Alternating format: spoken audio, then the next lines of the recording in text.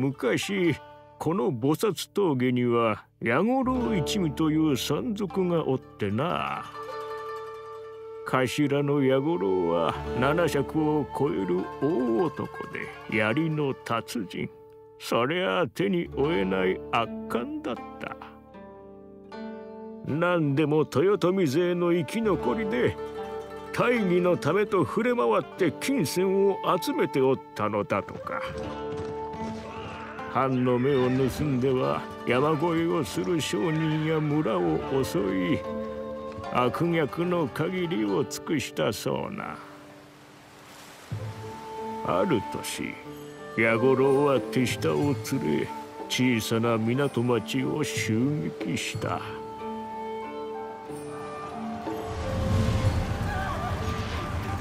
殺すだけ殺し奪うだけ奪った。かろうじて生き残った者は矢五郎に戯れで生かされた子供一人。自らの武勇伝を語り聞かせ宴で釈をさせたという。矢五郎は子供好きでな。ひとしきり可愛がった後切り捨てて次の子を見繕っていたんだと。その子供も死産血牙の中で自らの運命を悟ったろうよ。夜明け前には自分も同じように無黒になるのだろう。とな。おしまい。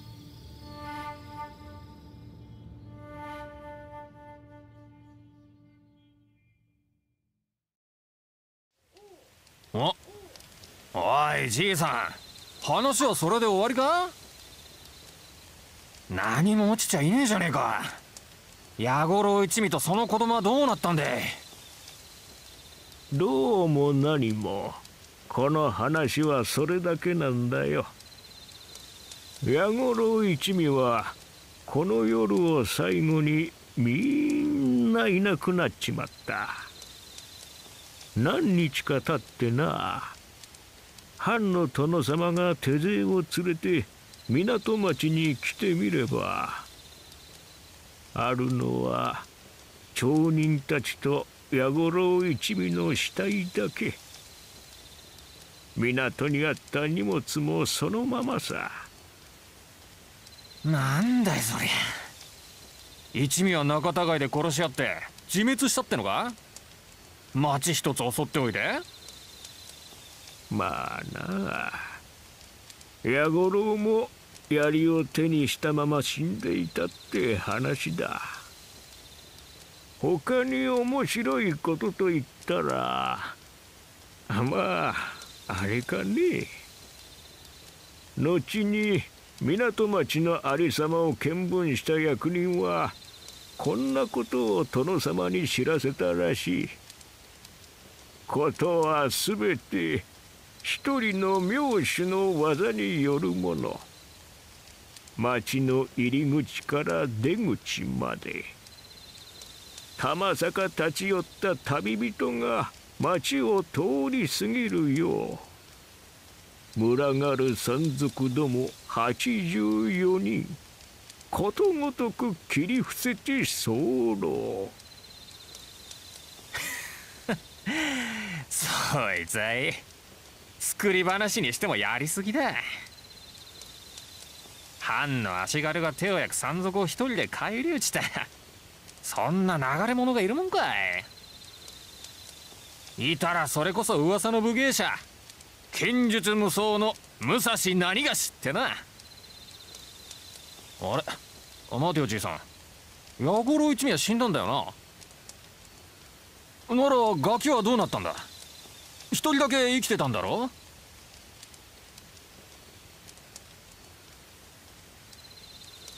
それがななかったんだよ。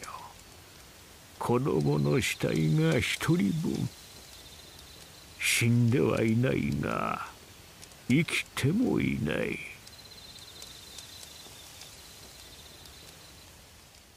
矢五郎たちと一緒にその子供もこの世からいなくなっちまったのさ。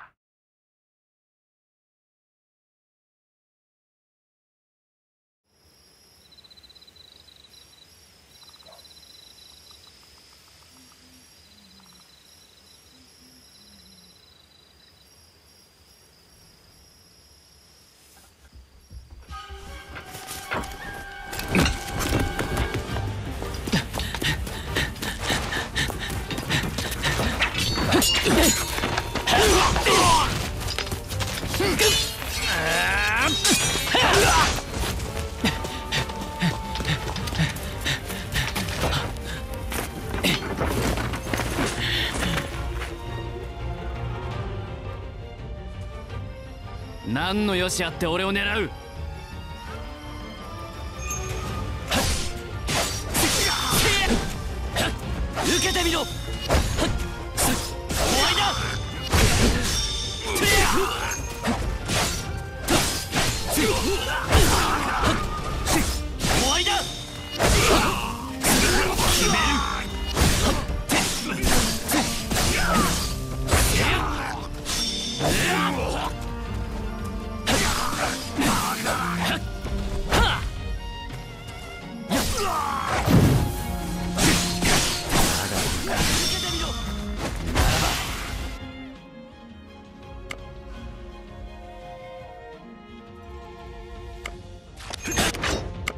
鋭き水の流れのごとく。揺るがぬ地のごとく。受けてみろ鋭き水の流れのごとく。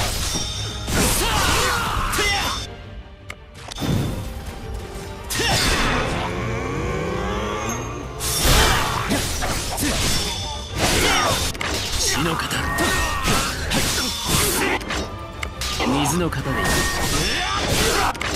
るがぬ地のごとく鋭き水の流れのごとく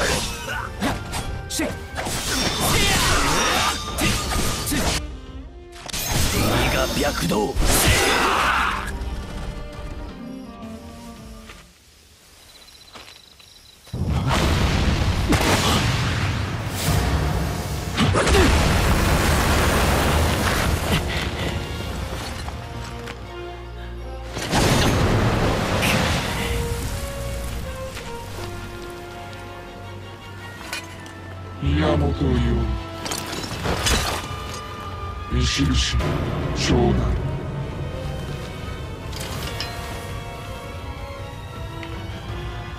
と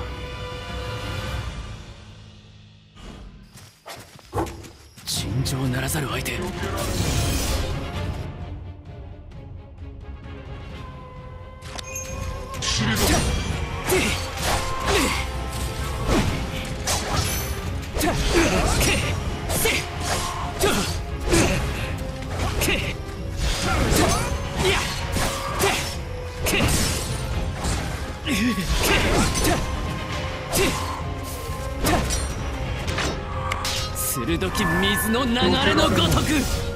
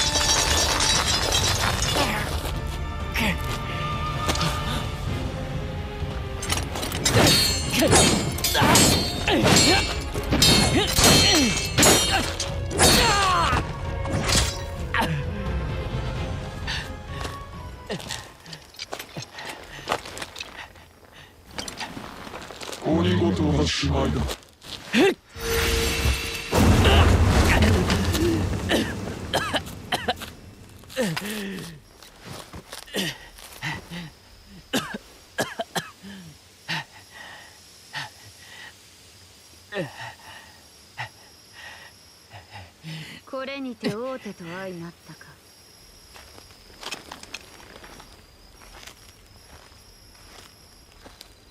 主。下がれライダー。名を知らせずして打ち果たすは我が心情にもとるゆえ。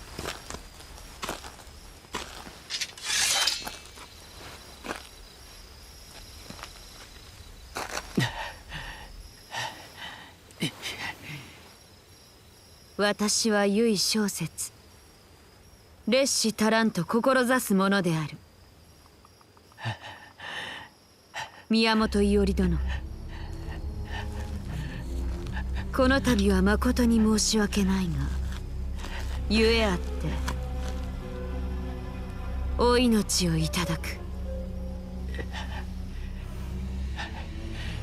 俺はまだ死ぬわけにはいかない！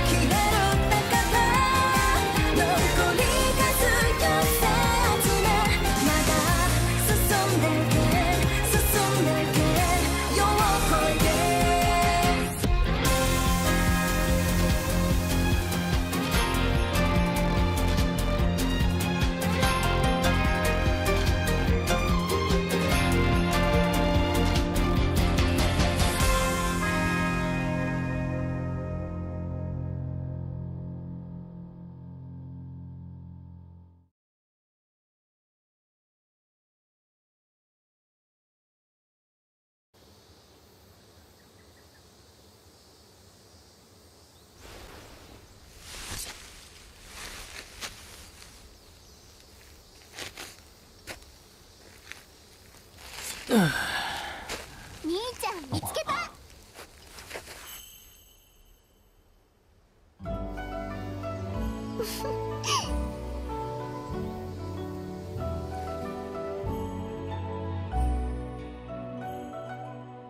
かやか。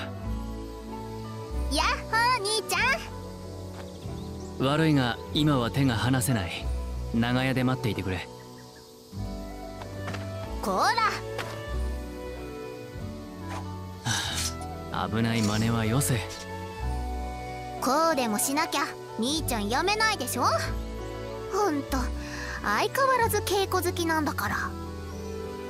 まったくお前こそ相変わらず威勢がいい。もちろん。兄ちゃんもちゃんと稼いでご飯食べて。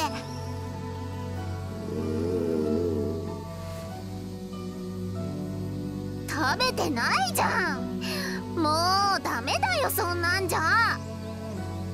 いやまあそのなんだ？言い訳無用。私にはすぐわかるんだから。ついこの前も飢えてこそたどり着く境地がどうこうとか言って。結局お腹空きすぎて倒れちゃったの。もう忘れた？自分を追い込むのもほどほどにしないとあれは未熟だった。未熟ゆえ腹の具合を見誤った。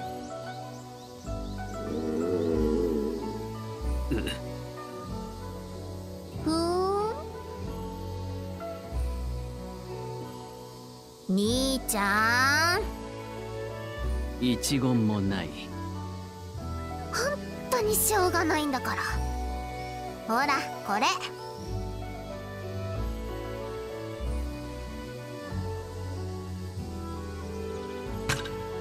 せこんなことだと思っておむすびこさえてきてあげたの。これ食べて稼いできなさい。まあいつも悪いな。できた妹がいて兄は鼻高々だ。本当？でごまかされないんだからね。ちゃんと稼いでちゃんと食べてね分かった分かった。助之進に口利きを頼んでみる。さお前は小笠原の家に帰れ。俺もすぐに出る。はーい。兄ちゃん気をつけて頑張ってね。あお前も小笠原様に迷惑をかけるなよ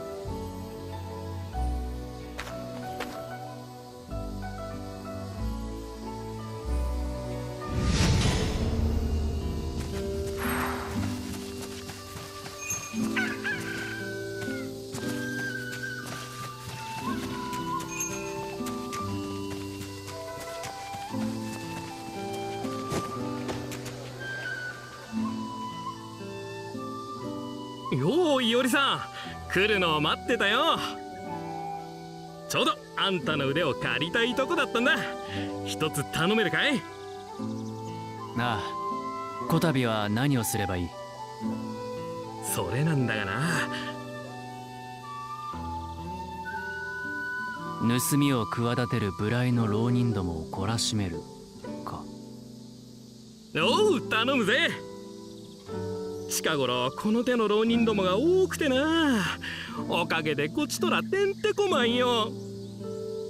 狼藉に走る浪人はまだ増えるぞ。改易や取り潰しに遭う大名家が多い。おのずと浪人も増えようものだ。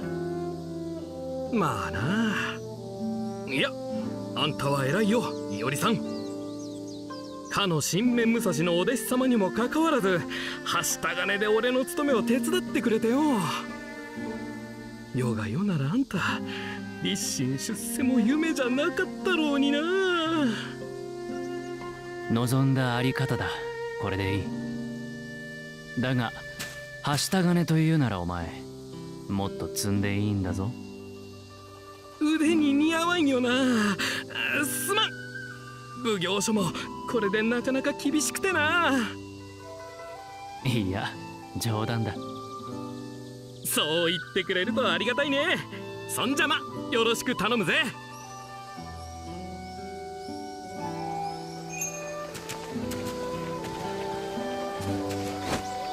おおよりくん。これから仕事かい？頑張れよ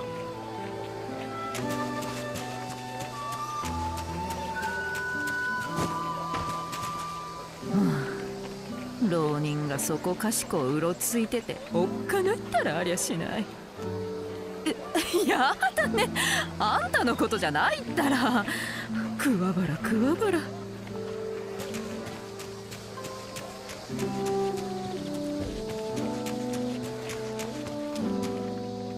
手はず通りに盗みに入る。先を思えば金はいくらあってもいいからな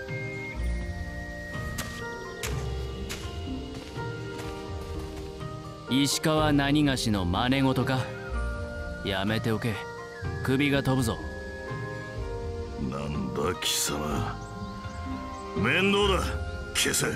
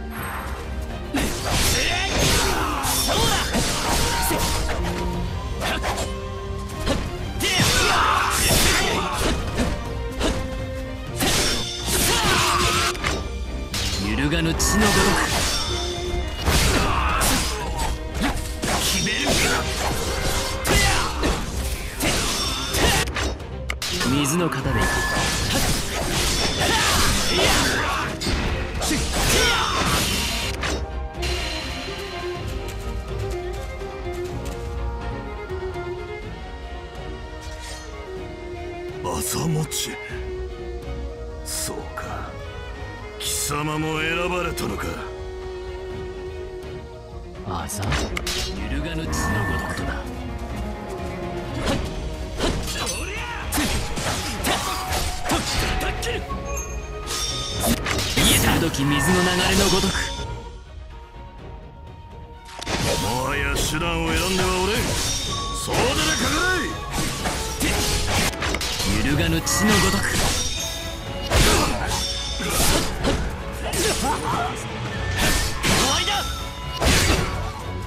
水の型でいく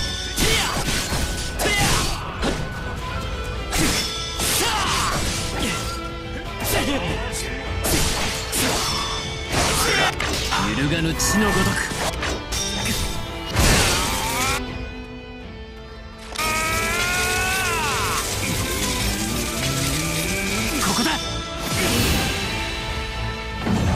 また一つ強くなれたか。片付いたか。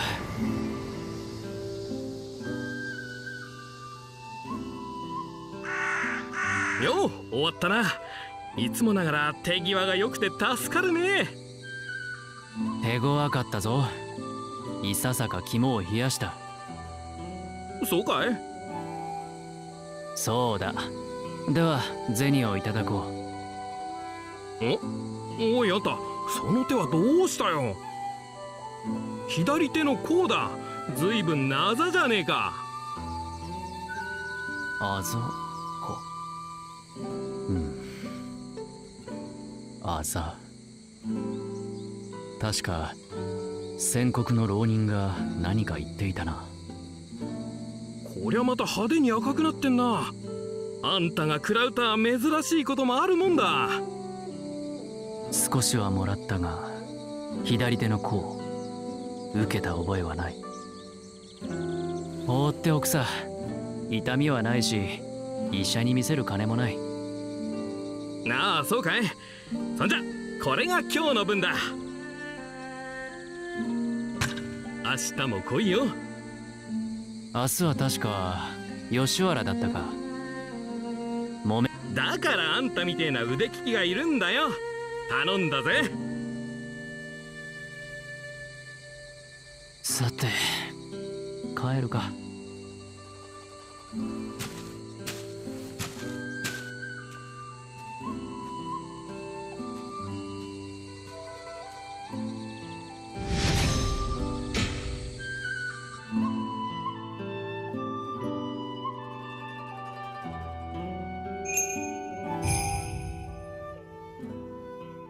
疲れ様。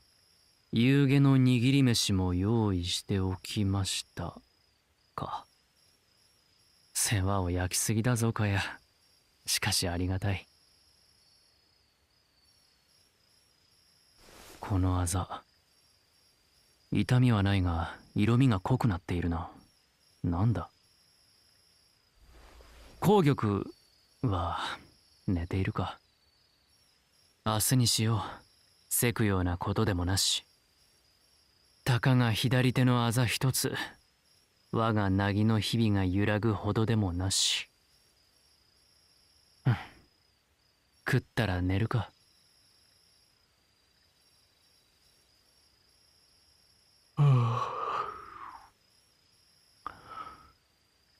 今宵はやけに月が眩しいな。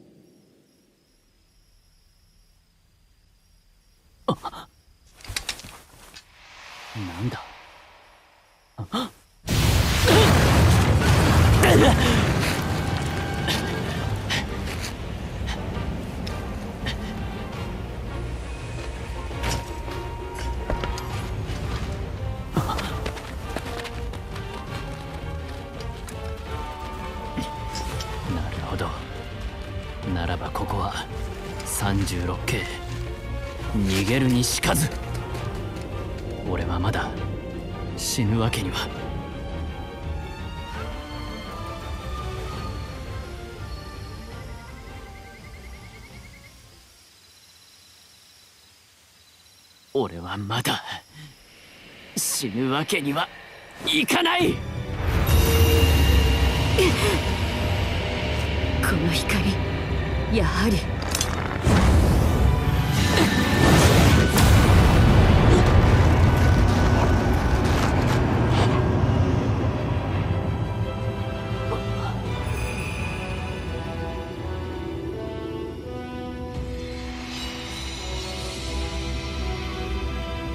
察するに。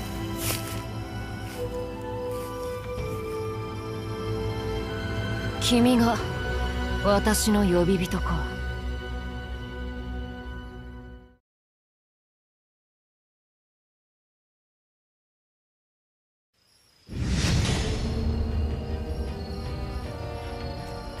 待て。貴殿は。ふむ。私はセイバーのようだな。セイバ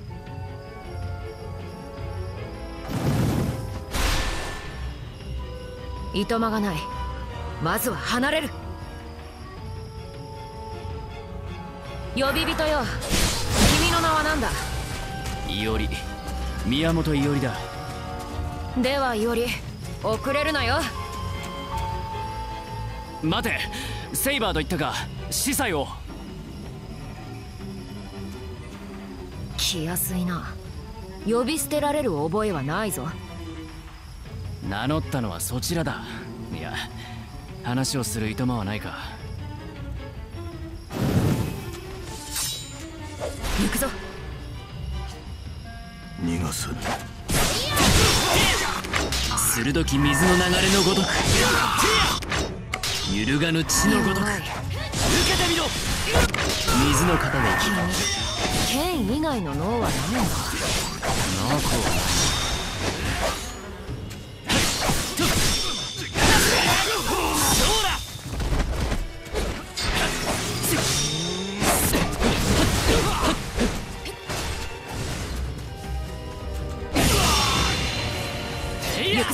り。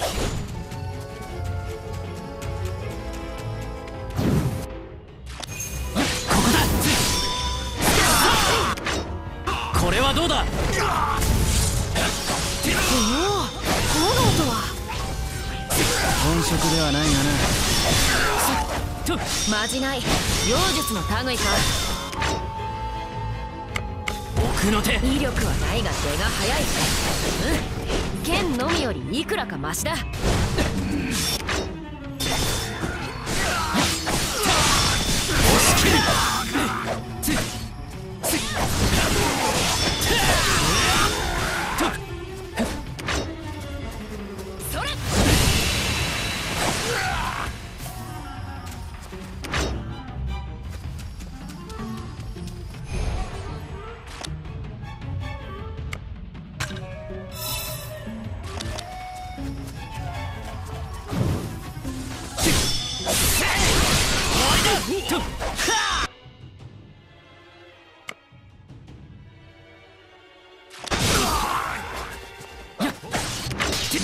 揺るがぬ血のごと。く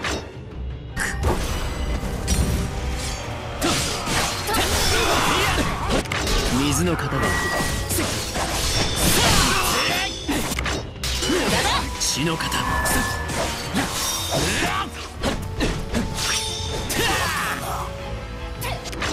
鋭き水の流れのごとく。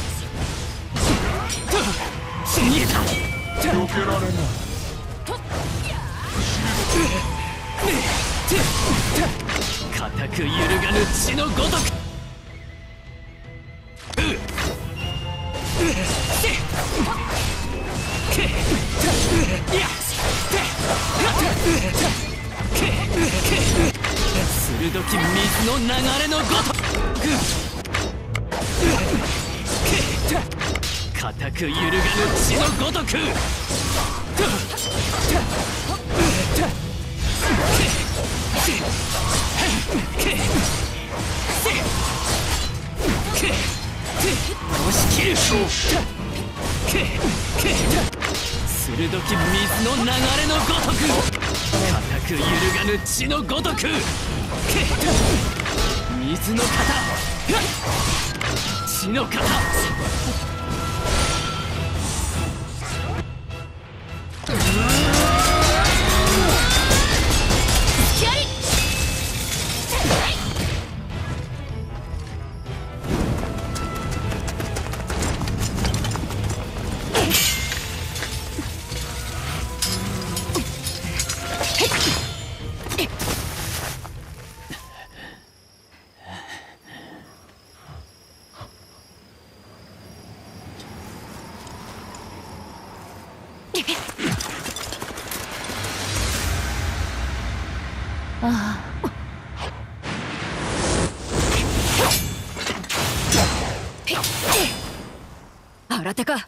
姿を見せろ。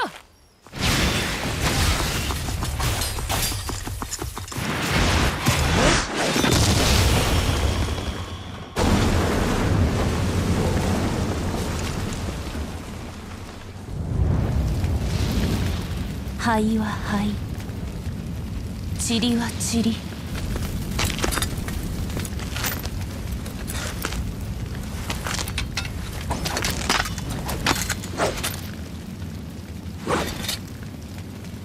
すべてを等しく燃やし尽くしましょう。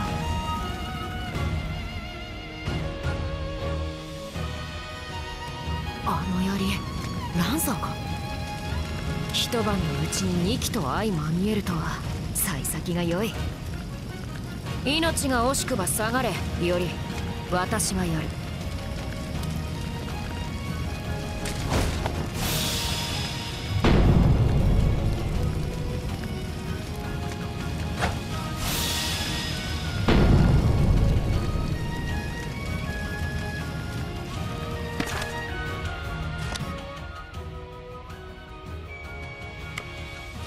少し彼らを見たい。ライダー。よいそれとりゃ活目せよそこだやっや。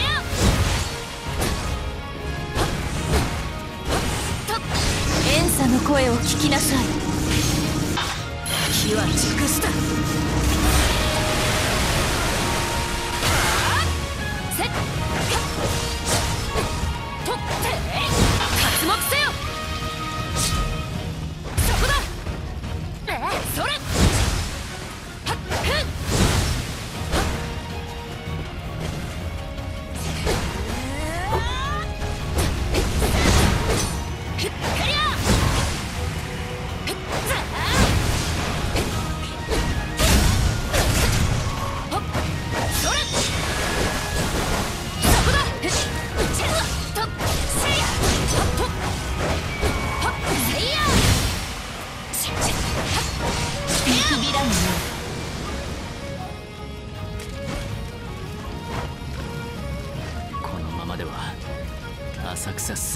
べてが火の海に沈みかねえ俺はどうすれば。よりほうけるなよ。同類がここにも一人。欲しがりだなランサー。ならば来い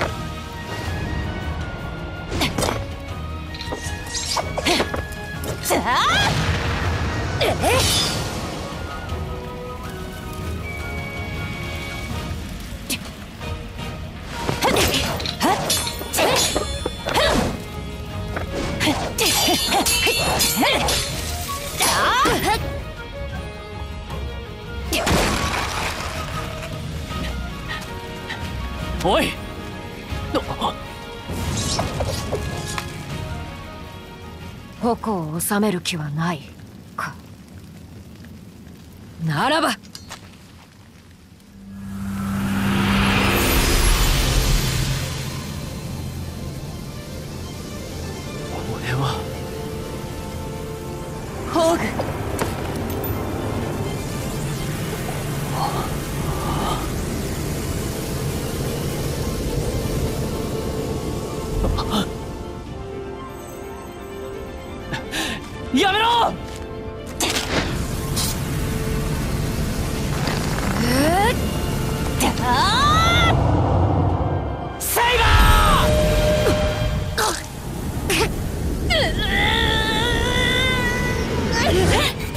Oh, no, no, no.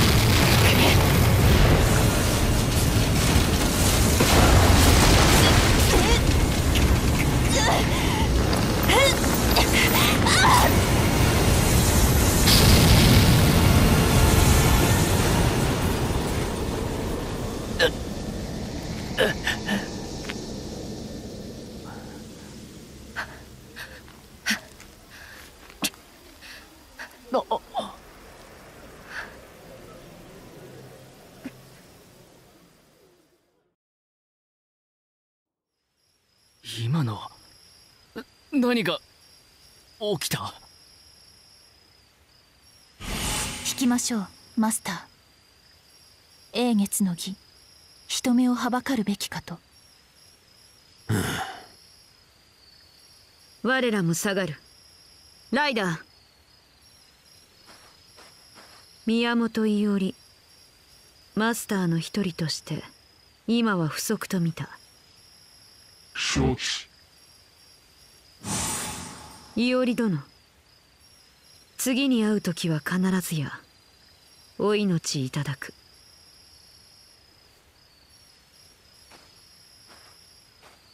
逃げるかおのれ。待てセイバ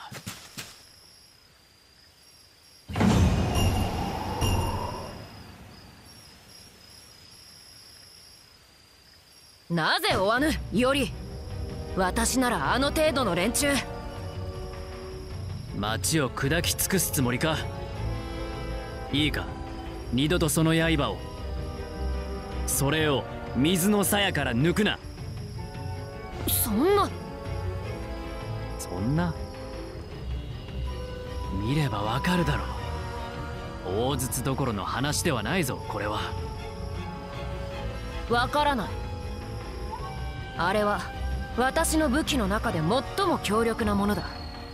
あらゆる敵を撃ち滅ぼす。最強の剣だ。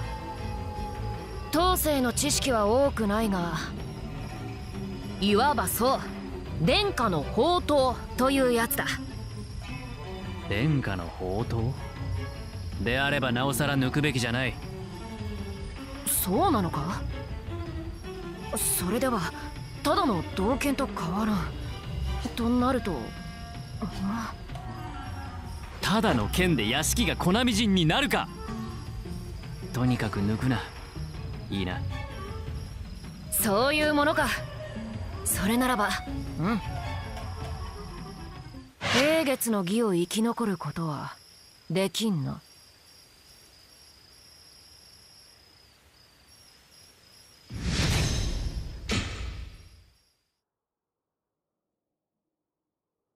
英月の義そうだ。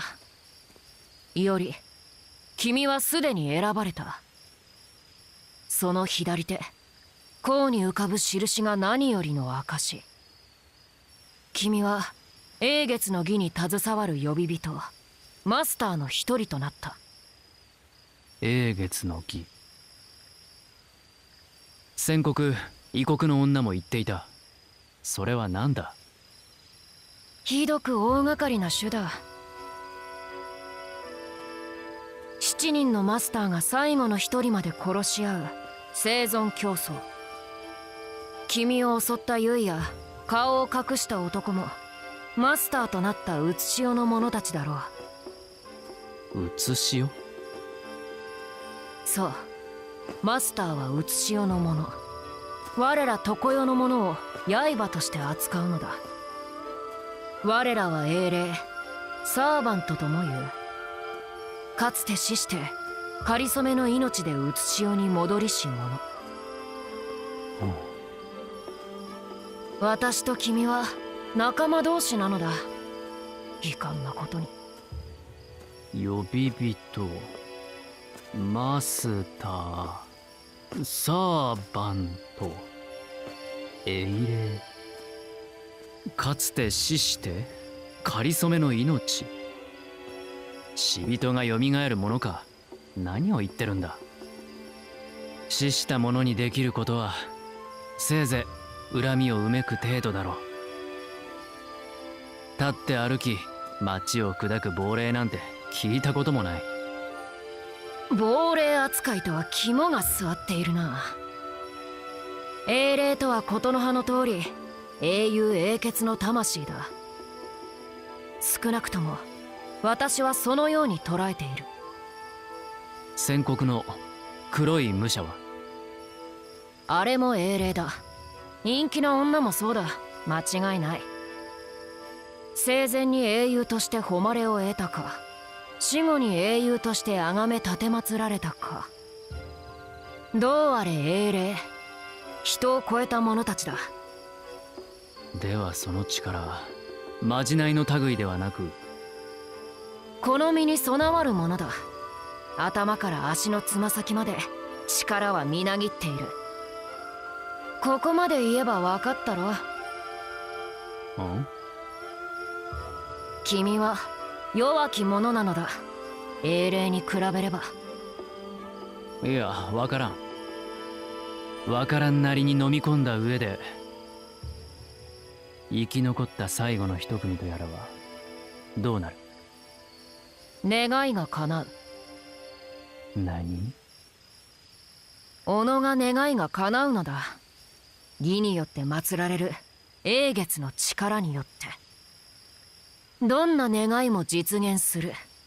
残った最後の一組がその力を得る。という話だ。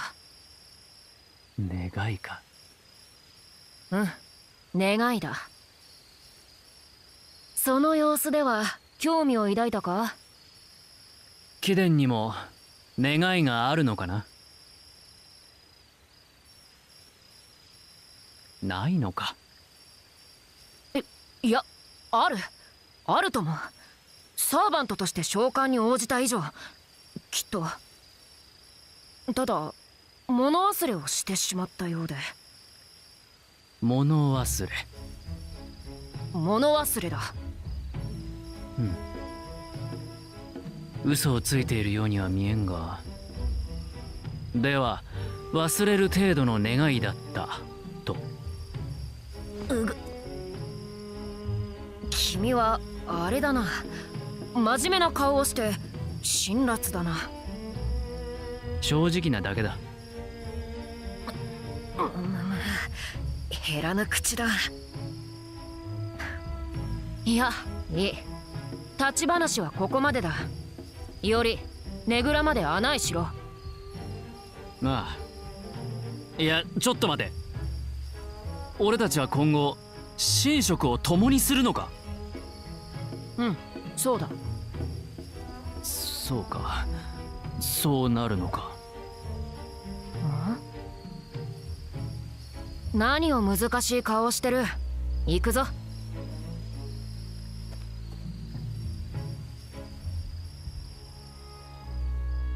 うん。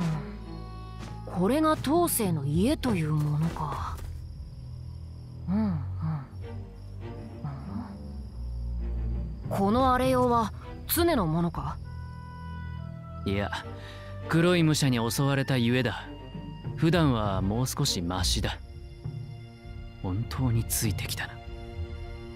あーそれで話の続きだが義について他に分かることはあるか？ないぞ。ない。ない？ない。私もこれ以上は知らないんだ。もう少しこう何かあるだろう。何かアン君の催す御前試合でさえもう少しあるだろ私が言えたことではないが同感だ?知り得ることは少ない。その上でといおり君は英月の義を何とする。他のマスターやサーバントを退け。英月を欲するか。ううん英霊。英雄英傑のよみがえり。凄まじき力。あれらが相争うのが英月の義ならば江戸の民草の多くが死ぬだろう。かやも死ぬ。悪しきことを許されぬことだ。それはわかる。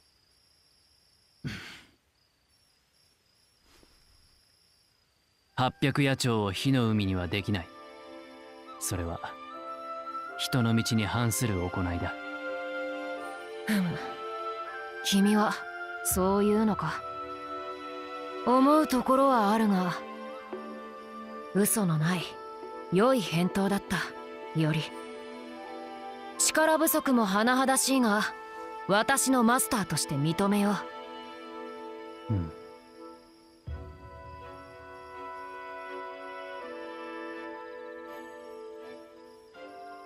ではまず名を教えてほしい。英霊かつての英雄英傑。貴殿はどんな人物だったんだ？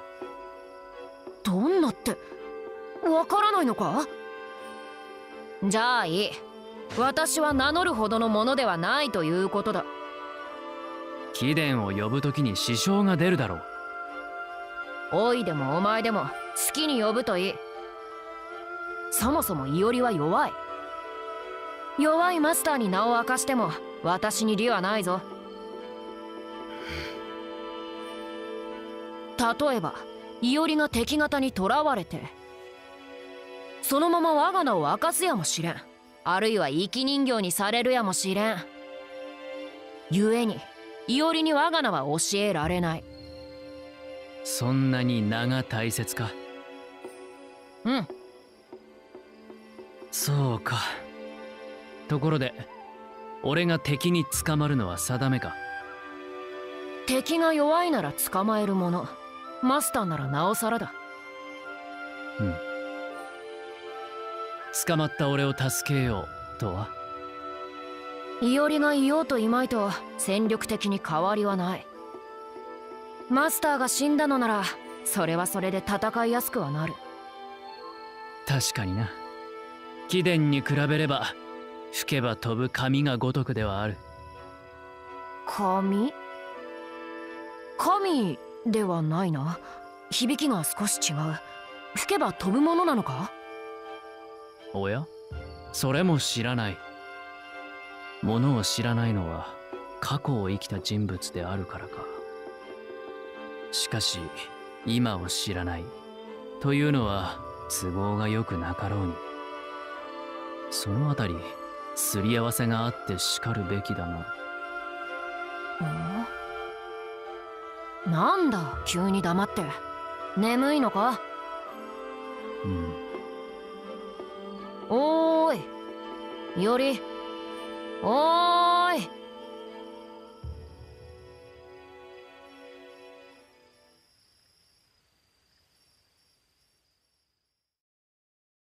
さようなこともあろう英月の儀。何分手探りの試みゆえな。は。ランサーの妨害さえなければ神明の類推も叶ったのでしょうが。ともあれこれでようやく7人の呼び人が揃ったと言えましょう。土帝殿。報告大義であった。して小説よなぜキャツをみすみす取り逃がすような真似をした？それは。こたびの剣お前の友も腹に据えかねていると見えるが。恐れながら慈悲深き我が主よ無知な者を無知なまま殺すことも慈悲かと言ったはずだライダーマスターの自覚なき者を切るは我が心情にもとる。よい。清水入を済まず石上五国を生ぜずせいぜいその生真面目さで斧が首を絞めぬよう努めるのだな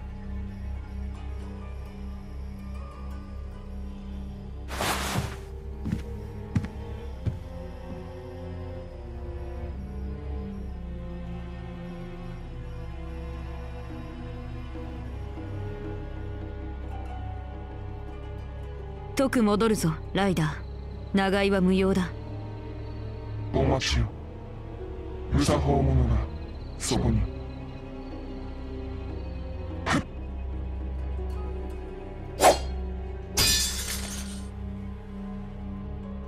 問答を無用で切りつけるとはな。義に無関係な人間だったらどうするつもりだ？ランサーとそのマスターか。このような弱に一体何の用向きだ？奇襲以外何があるともっとも子孫自体がね。随分と大胆な奇襲があったものだ。とはいえ貴殿が相手なら話は早い。ライダー。待てやる気が有り余ってるのは結構だがそいつと正面からやり合うつもりはない。ではどうするつもりだ？くだらない思い出話をしようじゃないか。唯小説。何故私の名を知る。貴殿は何者だ？知恵も己に加盟なしかようなものは島原の炎で灰となって。島原の生き残り？ならばもしや貴殿森総意見先生を。よく知っている。さあくだらない思い出話をしようか知恵門殿。私も貴殿とは話をしたい。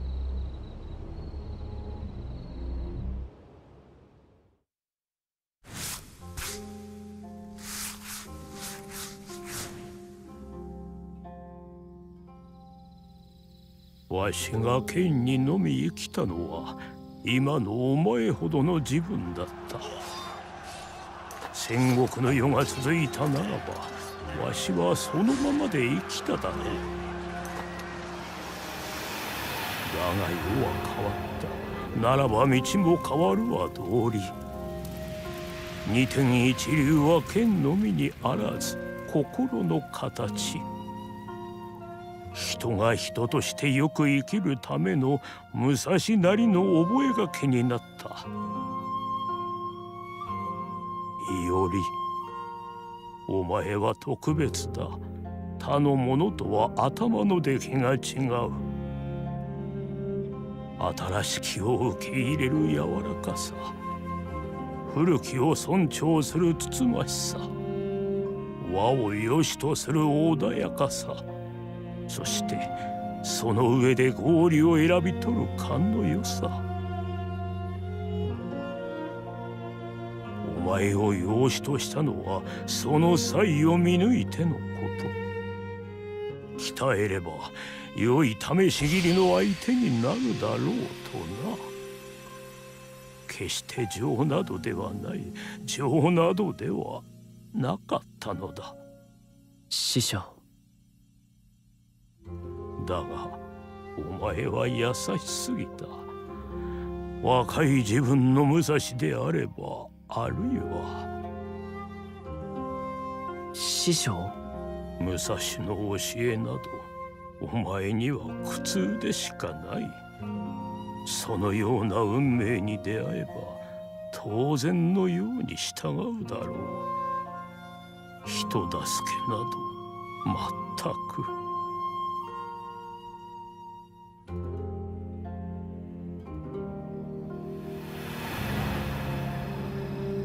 りお前は生まれる時代を間違えたのだ。